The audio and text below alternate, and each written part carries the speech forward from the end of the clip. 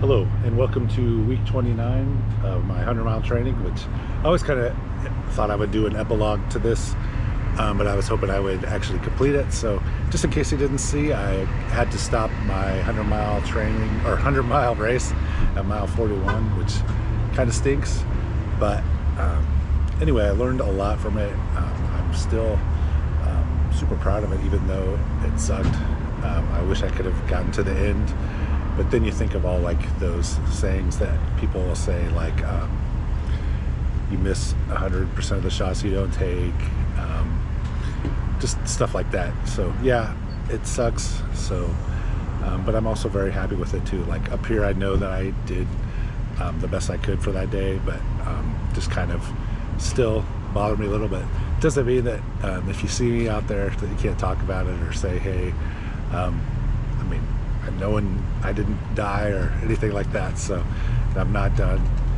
Um, I think part of it is the day of the race. Um, I started maybe built it up too much or maybe got too excited and just um, started getting really nervous. And I think it really got me tense. And um, I just, just all of it got the distance, the amount of time that I was going to be out there just made me a little nervous. And I just, maybe I just didn't deal with it mentally very well at the beginning and it then it like rolled over into physically uh, bother me. Maybe we're like pretty much on my spine, like everywhere was just like super tight. It like rolled down to my ankles. So I just was really doing bad. Um, it sucks that I made this whole video series about it and um, then couldn't couldn't finish it. So that part kind of stinks. But I don't know. I probably will try it again someday. We'll have to see. Um, it might not be for a couple years because I gotta build up to it again, but I'm definitely not um, done running, definitely not done being an ultra marathoner, even though during the race I kind of thought maybe, you know, ultra marathon racing just isn't for me.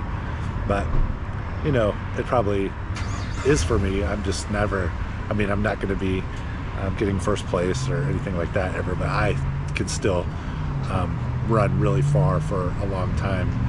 Um, and um, it really is difficult just to get yourself to start the race. Um, I don't know if I can emphasize that anymore.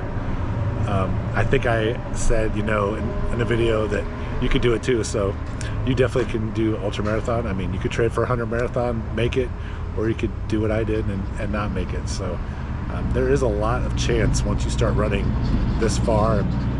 After this, I've kind of talked to a lot of people that weren't able to make it um, and had DNFs too. So um, makes you feel a little bit better. But um, thank you for everyone that sent messages, texts, watched this video series all the way through.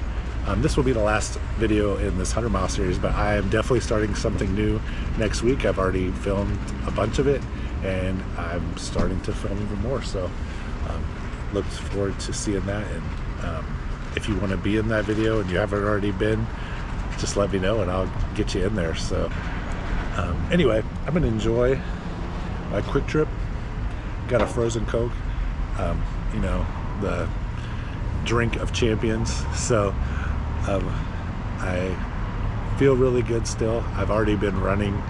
Um, so if you feel bad or feel like you can't talk about it to me, then don't feel like that at all. Um, I'm totally good and I'm healthy and I am still running and I'm mentally still there too. So anyway, again, thank you for watching all this time. So I'm gonna go ahead and go finish my drink and get ready for the next thing. So thank you for watching and I will talk to you next time.